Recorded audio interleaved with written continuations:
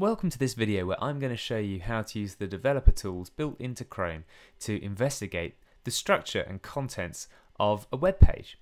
So this works for Chrome uh, and any Chrome-based browser such as the new Microsoft Edge browser. What you need to do is load up the page you're interested in and then go to the three dots on the right hand side, go down to More Tools and select Developer Tools. This will open up a new panel in Chrome either on the side or it might appear at the bottom of your screen as well. Now, as soon as you open up Developer Tools, you'll get to see all of the HTML that makes up the page.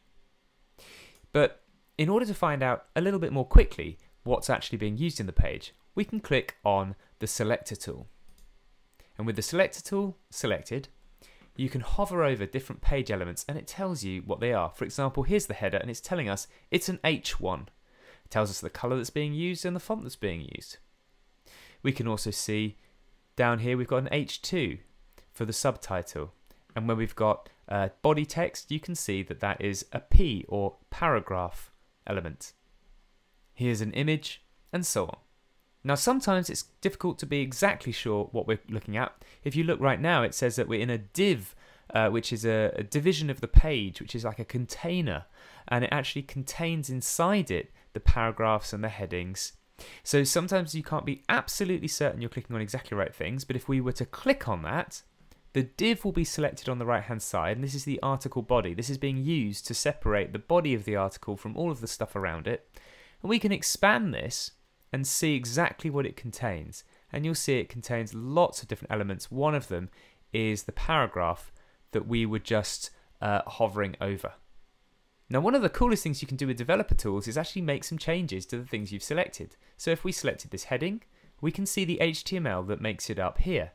And we can use this to have a bit of fun. It's supposed to be designed for prototyping and fixing pages, but let's let's have a little play with it.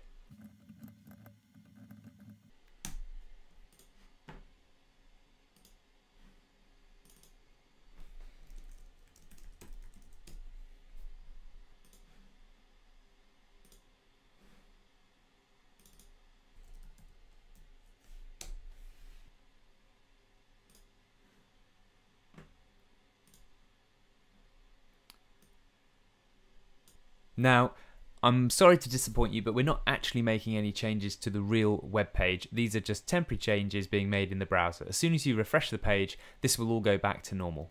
But it's a really fun little thing to do. But more importantly, um, this is a very, very good way of learning about HTML. Look at real websites and see how they're constructed.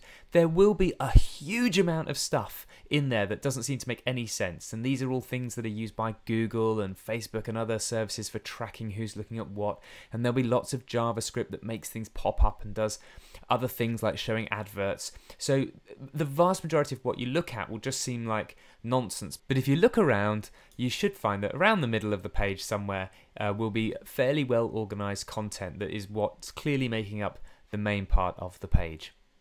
So that's developer tools in Chrome.